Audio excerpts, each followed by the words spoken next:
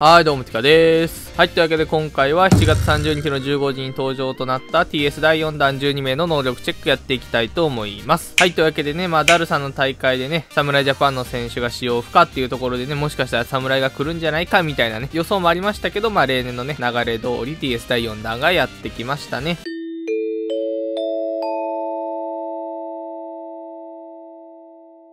ということで TS 第4弾12名の能力チェックやっていきたいと思います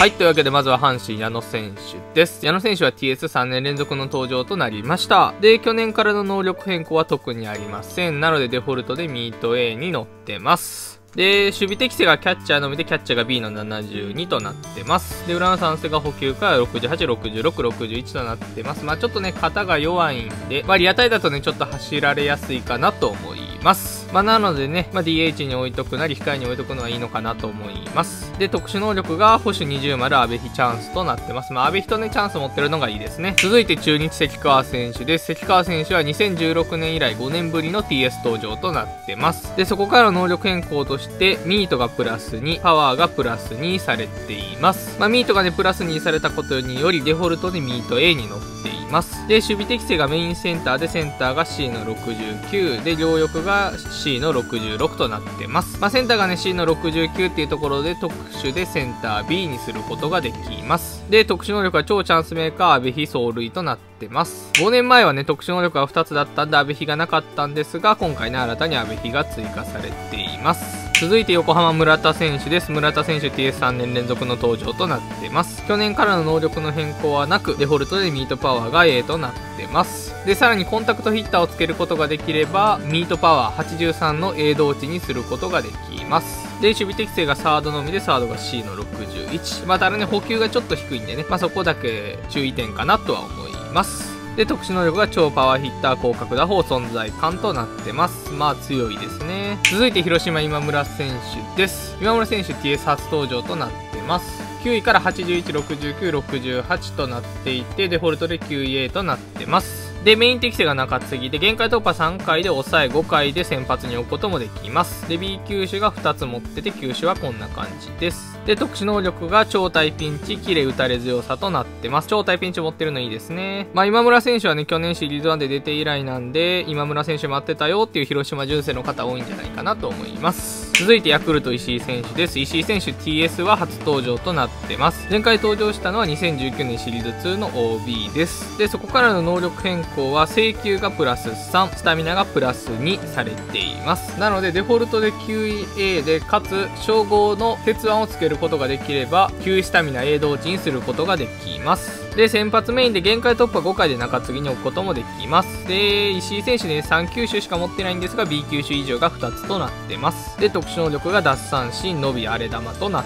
てます。続いてソフトバンク工藤選手です。工藤選手2018年以来3年ぶりの登場となってます。前回から能力が大きく修正されていて、9位がプラス3、請求とスタミナがプラス4という能力爆上げで、デフォルトでオール A となっています。さらに攻めの投球術をつけることができると、オール A 同値にすることができます。で、投資適性が先発のみで球種がこんな感じです。で、B 球種以上は2つとなってます。で、特殊能力が伸び出す三振、尻上がりとなってます。続いてロッテ、小野選手です。小野選手2019年以来2年ぶりの登場となってます。で、そこから能力の変更は9位がプラス1されています。で、請求プラス2の称号をつけることができると、請求スタミナは同値にすることができます。で、投資適正メインが先発で、限界突破5回で中継ぎに置くこともできます。で、球種はこんな感じとなってます。で、特殊能力は援護、キレ、打たれ強さとなってます。続いて西武中島選手です。中島選手 TS としては2年ぶりの登場となっていて、去年ね、ダルビッシュセレクションでも登場しています。で、2年前の TS とね、年度が変更されていて、去年ダルビッシュセレクションで出た年度に変更されています。まあ、なのでね、2年前の TS と少し能力が変更されていて、デフォルトでミート A に乗っています。で、守備適性がショートメインで、ショートが C の66、サードが D の57となってます。ここもね、査定年度変更で、まあ、去年のね、セレクションと同じ能力になっています。で、特殊能力が超アーティスト、広角打法固め打ちとなってます。2年前の TS はね、チャンスだったんですが、ここがね、固め打ちに変更されています。まあ、ただね、中島さん来たということは、松井和夫さんはね、まあ、西武で来ない、まあ、もしくは楽天で来るかなっていう感じですかね。続いて楽天ウィーラー選手です。ウィーラー選手 TS 初登場となってます。能力としては2018年シリーズ1の通常 S ランクと同じ能力となってます。え弾道パワーヒッターでミートが69、82、65となっていて、デフォルトでね、パワー A に乗っています。で、メインがサードで、サードが C の62。で、サブポジとして、突4でレフトとライト、突5でセンターとファーストに置くことができます。で、特殊でね、センター D にすることもできます。まあ、あと特殊で肩 A にすることもできます。またね、補給が32というところでね、まあ、ちょっと低くはなっています。で、特殊能力が超パワーヒッター、プルヒッター、盗塁となってます。ウィーラー選手がね、盗塁持ってるのはちょっと意外でしたね。で、一応ね、2018年のシリーズ1のね、通常 S ランクも確認したところ、そちらもね、盗塁を持っていました。続いて、日本ハム中田選手です。中田選手 TS 初登場となってます。ここはね、日本ハム純正の方めちゃめちゃ嬉しいんじゃないかなと思います。弾道パワーヒッターでミートから78、82、64となっていて、デフォルトでパワー A に乗っています。さらにコンタクトヒッターをつけることができると、ミパ81の A 同値にすることができます。で、メインがレフトで、レフトが C の68で、サブポジでファーストが D の52となっています。まあ、レフトがね、C の68ということなんで、特殊でレフト B にすることができます。さらにね、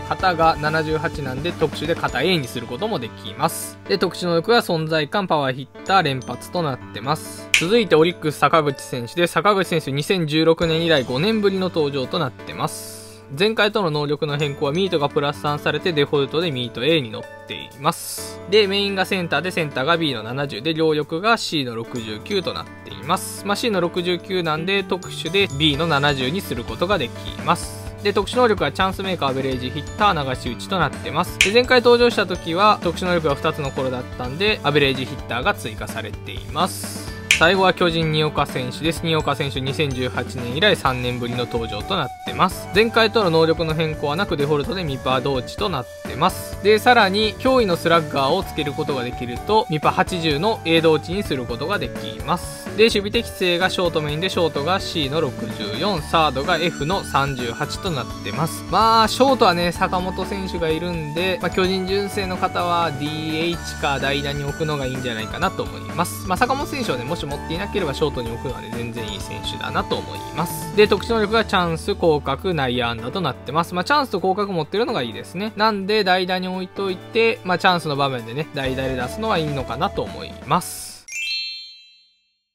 はい、というわけで、7月30日に登場となった TS 第4弾12名の能力チェックやっていきました。いかがだったでしょうか？いやー、個人的にね、今回阪神矢野さんが来るのはね、完全に予想外だったんで、ちょっとびっくりしましたね。しかもね、今のところね、阪神の追加の流れがね、2019年とね、全く同じなんですよね。セカンド、ショート、中継ぎ、保守と。となるともう阪神は先発で、ライトで来るのかなとか思ったりね。まあ、あとね、5段、6段の追加が楽しみですね。で、まあ今回ね、登場した中で、まあ12球団で取りに行くとなると、やっぱり工藤選手。まあ、ここはね、もうデフォルトでオール A なんで、まあ、ここはね、欲しいかなと思いますね。まあ、あとは中島選手もいいですね。ショートのアーティストというところでね。まあ、あとは中田選手もいいですね。称号でミパ A 同値もいけますし、レフトもね、B にできるっていうところでね。まあ、あとは村田選手かな。村田選手もね、まあ、ミパがデフォルトで A ですし、称号でね、ミパ A 同値いけるっていうところでね。まあ、このあたりがね、まあ、今回の4段だったら当たりになってくるのかなと思います。というわけでね、もし今回の動画参考になったよっていう方は、ぜひとも高評価、チャンネル登録の方よろしくお願いします。それでは今回の動画この辺で終わりたいと思います。今回も最後までご視聴いただきありがとうございました。